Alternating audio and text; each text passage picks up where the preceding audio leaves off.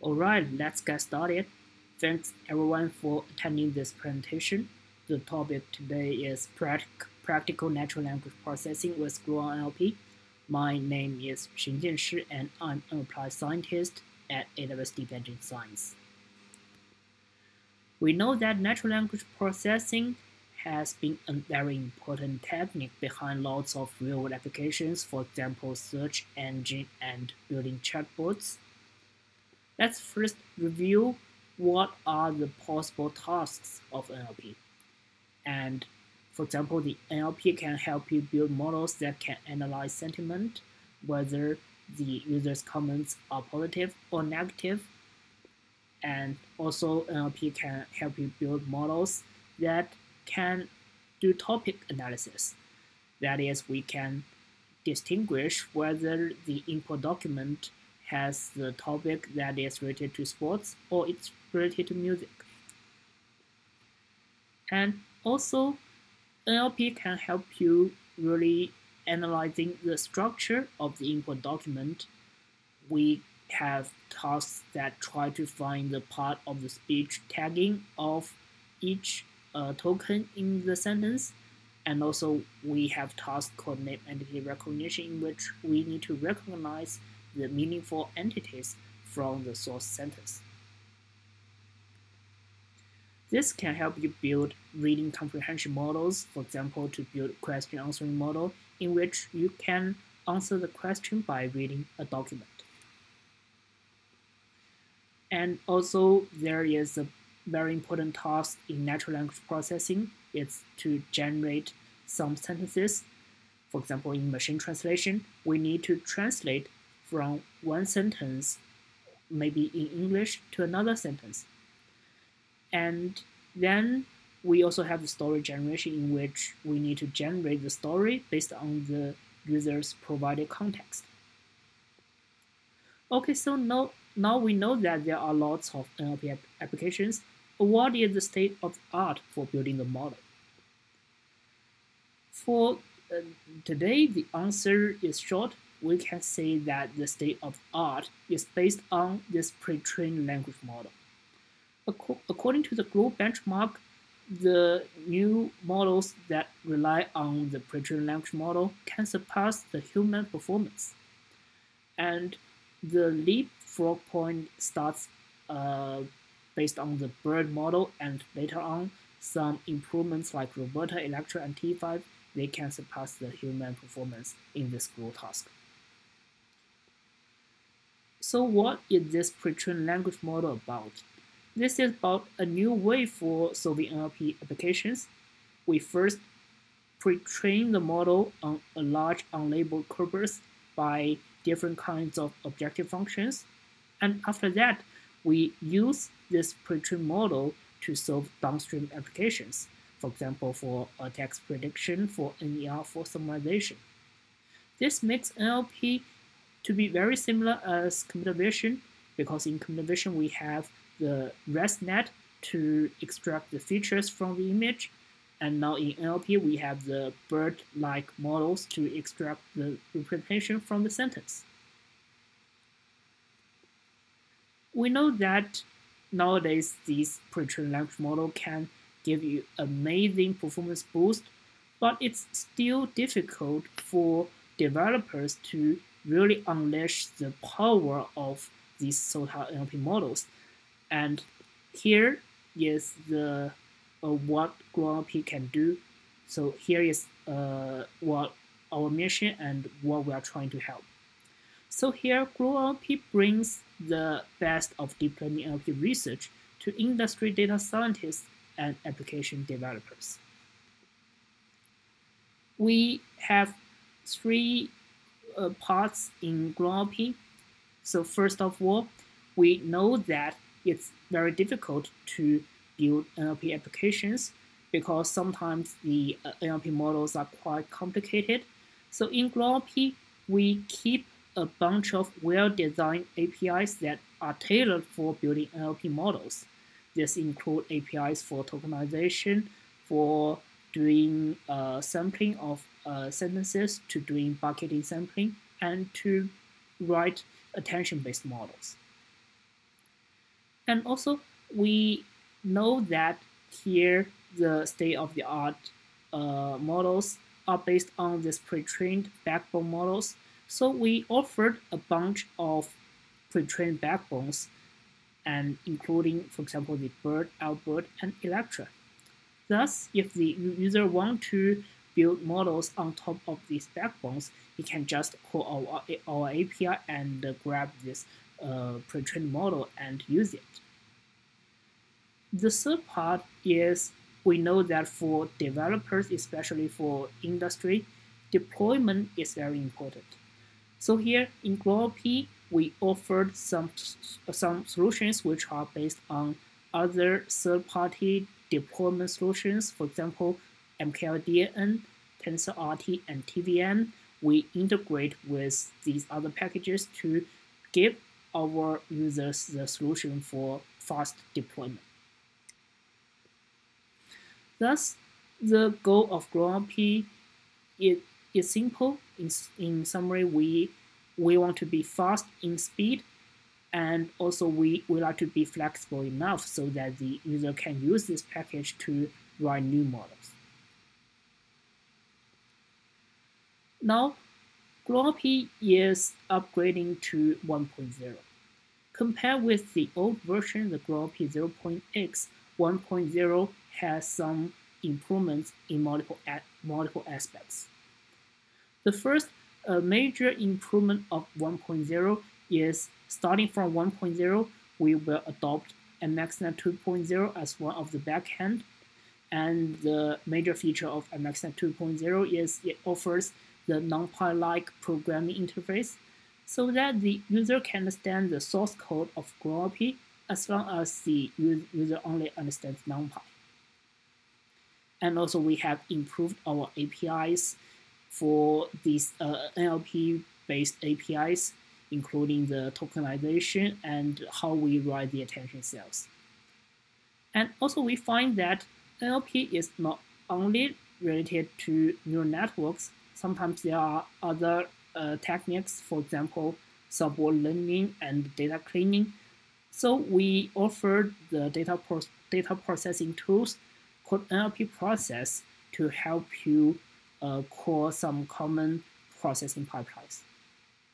And also to help people reproduce the state-of-the-art pre-training models, we have this NLP data, and you can use that to fetch some uh, large corpus for pre-training. And also in GluonNLP 1.0, we have more backbones, including, for example, the XLM Roberta, Albert, Electra, and MobileBERT. And we offered a bunch of examples to teach you how to use this package, in which I will briefly explain later. So here in GluonNLP 1.0, we have run, uh, we have fine-tuned uh, the backbones in this package on the SQuAD 2.0 dataset. And here are the results. All these results are based on MXNet 2.0 and we used Horovod and the automatic mixed pre precision training support in MXNet 2.0. So here we can see that the Albert base takes one hour for training and uh, I forgot to mention that these uh, experiments are conducted on an EC2 G412 instance that uses the G4 GPU and has uh, 4 GPUs per instance. And here we can see the Albert base takes 1.26 hour and if we convert that to cost, it means it costs uh, around $5, $5 in EC2 and it and it can reach the validation F1 and exact match score equals to 80, 82% to 79% correspondingly. And here are the numbers on SQuAD 2.0 for other backbones. Also, we can see that for Electra Large, it can achieve uh, achieve validation F1 equals to 90 uh, 90.62 percent. So uh, it is uh, it can achieve a state of the art on the SQuAD 2.0. And we know that the uh, pre-training scripts are also very important because sometimes the user want to pre-train on their own data. So we provided scripts that are able to help you uh, pre-train with different kinds of pre-training objectives.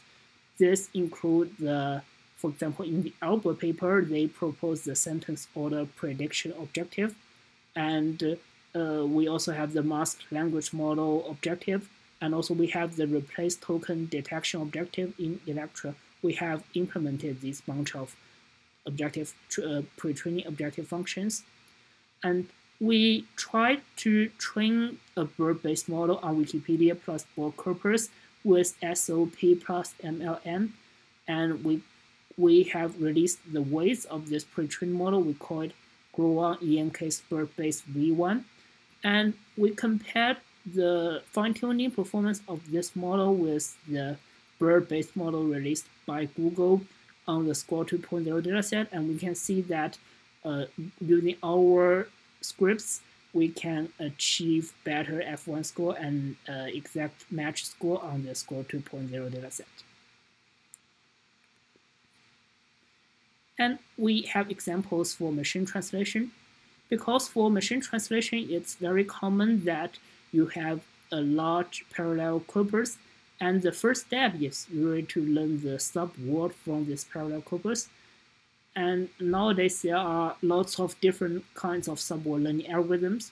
To uh, simplify this subword learning algorithm, we provided this NLP process learn subword so that you can just call the NLP process CLI to uh, learn the subword and we have integrated with different kinds of subword learning libraries so that uh, it will be uh, very simple to use and you can use it to train subword on your own datasets. And after you've trained subword, you can call NLP process apply subword to tokenize the dataset into uh, tokenize the sentence into subword tokens. And also to facilitate the machine translation, we have implemented different kinds of bucketing strategies, like the sorted bucket, bucket sampler, and fixed bucket sampler. And we have also uh, implemented a new sampler called bounded budget sampler, in which we ensure that the each batch will be within the budget that the user has specified. So after we have uh, adopted this NLP process and uh, bucketing sampling and also the backbone models in GluonNLP, we run experiments on the WMT 2014 dataset. We can find that for the transformer-based model, we can achieve 26.95 BLEU score. For the large model, it's 27.99 BLEU score. And we also tried the transformer-based model with pre-layer pre normalization, which achieves 26.81 performance. So uh, that is close to the uh, what the other papers report. We also offer the example of sequence generation. For sequence generation, there are multiple ways to sample from the generator Thus, we implemented multiple sequence samplers, including the uh, basic multinomial sampling beam search, and also we implemented the top K and top P sampling, and we implemented the stochastic beam search. And in our generation example, we use the GPT-2 in GluonNLP to generate sentences, and we evaluate the quality and diversity of the generated samples achieved by different samplers and that's uh, in the example of uh, that that's in the example showing the following link. Also, to help people uh, deploy the GluonNLP models, we integrated with TVM. And here are some uh, performance comparisons between GluonNLP plus TVM versus Hugging Face plus Torch, Torch script and we use BERT-based as the backbone model. And we try to see the inference speed with different kinds of batch size and sequence length.